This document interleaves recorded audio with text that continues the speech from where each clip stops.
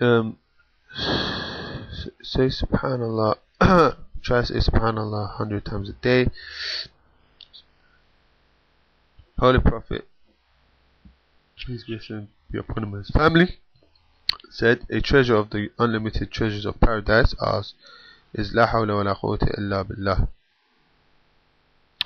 Also the companion of the holy prophet Abu Dhar says five things are under the treasure house of the Almighty Lord, which is under the ninth heaven.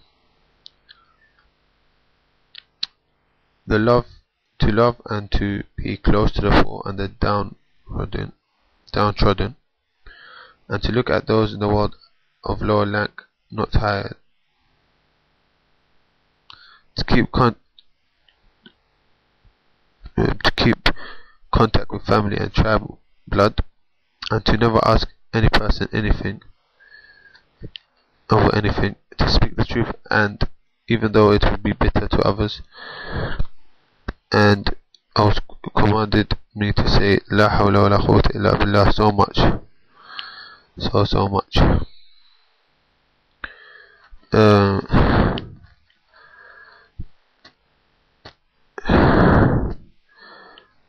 and remember, yeah. Whoever reads Surat Mulk will get protection from the torture of the grave, Surat Mulk. And if you read Surah Tawheed a hundred times a day, fifty of years of sins gets erased.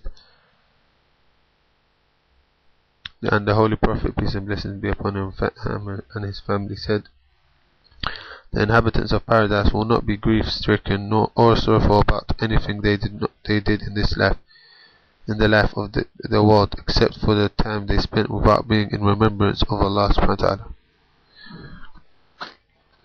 Engage, the Holy Prophet said, peace and blessing be upon him and his family, engage in the remembrance of Allah in such abundance that people see think that you are insane because you remember so much. Um,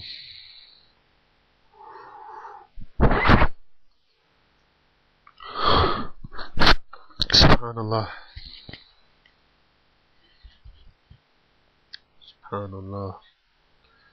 And the Holy Prophet, peace and blessings be upon him, and his they went through such a hard stage that he had to tie a rope around his stomach so that he does not feel pain of hunger. And he used to always go out looking for the poor to help them.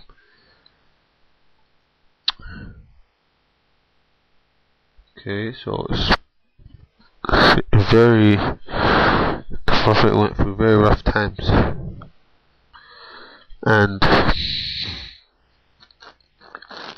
there's like if you want a long life, you have to do three things: always family ties, silat rahim, keep family ties, good to your parents, and a lot of charity.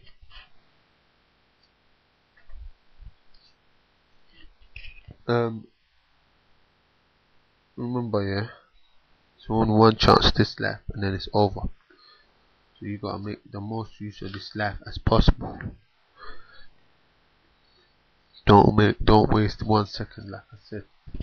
Always be in a state of remembrance of Allah Subhanahu wa Taala. Um. Remember, like I said, yeah try and always cry in every single prayer. Try and make a tear come out. remember, Allah might not give you something, Allah subhanahu wa ta'ala, so that you keep asking Him for it. Because if He gives it to you, then you will stop asking. And Allah, Allah loves those who ask a lot. And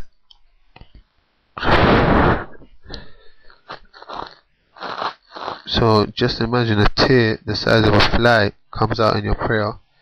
You'll get mountains of blessings for that.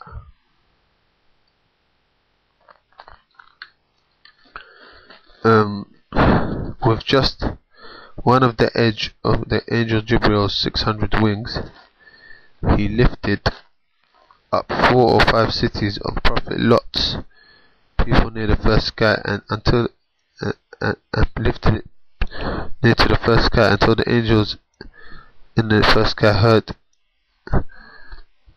the crowing of the roosters and barking of the dogs. He lifted it all the way up there and then he threw it back down, smashed it back down because they were homosexuals, gays, and all of them died. That's what the angel Jibril did to them. He lifted up the earth, flipped it around, smashed it back down, all of them got killed.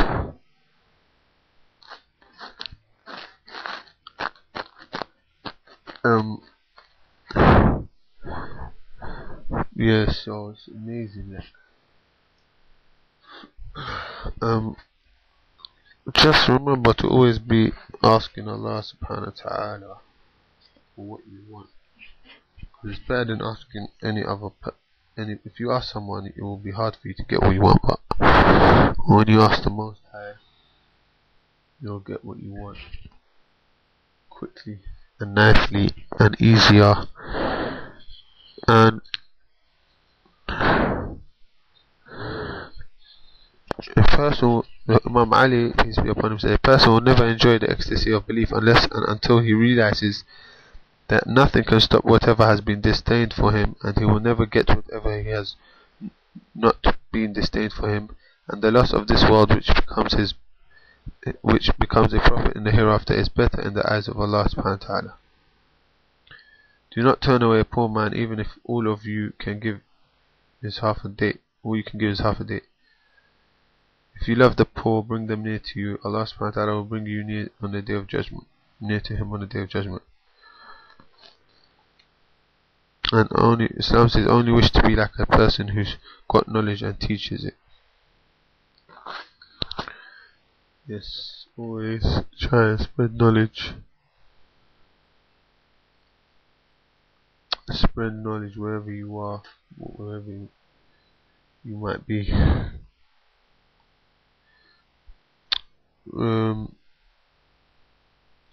remember, like I said, yeah, the more there's people dying of starvation, there's orphans, you have to pay attention to these people and help them. There are angels feet, whose feet are in the seventh earth and upper body above the seventh sky. Imagine how big they are. The size of the angel carrying the throne is so big to describe. You can't describe it. It's just too big. And angels are the most numerous kind of Allah's creation. Each person, some say, I read something saying each person has eight angels who protect him from the jinn. If it were not for these angels, the jinn would play with a person like the person plays with a ball. Some angels assigned to write how much leaves fall, some how much salam, give so much people and give you salam to the Prophet.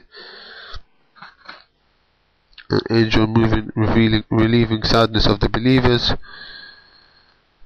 and the, the Holy Prophet saw Angel Jibril in his true form, six hundred wings, each of which was each of which filled the horizon, and there were multicolored pearls, pearls and rubies fall, falling from his wings. And Jibril, Angel Jibril, Jibril told the Holy Prophet, peace be upon him and his family, if you think that I'm big, you should see Mikael, Michael, Angel Mikael, Mikael. So wow, think about that. Something to think about, boy. Massive angels out there. And you can't see them, and you'll see them when you die. Or if you're lucky, you'll see the ones of heaven. But if you're unlucky, you'll see the angels of hell. Ooh. um, Remember, people don't respect a, a person who's needy or in need of them most often. Um,